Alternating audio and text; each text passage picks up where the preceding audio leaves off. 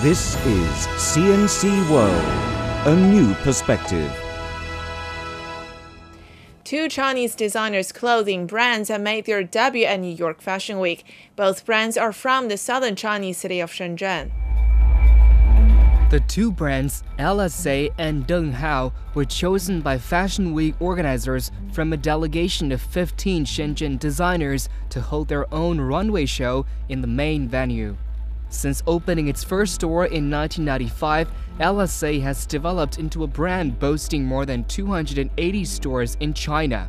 It was recognized as a top Chinese women's fashion brand in the year 2008 by China International Clothing and Accessories Fair.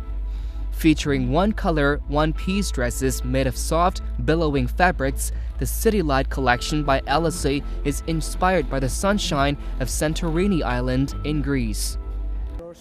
Dusen Wang, brand image management director of Ellassay, said they had prepared for two months for the show, the first time a Chinese top tier brand was able to dominate the runway in New York.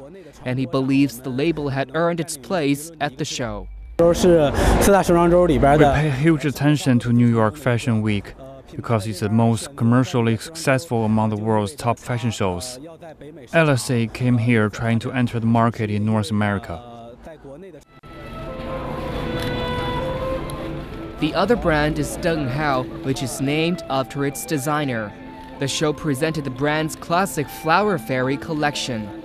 Combining West and East cultural and religious symbols in delicate knit, the collection depicts mosques, churches, as well as ancient Chinese temples in royal reds and luscious greens.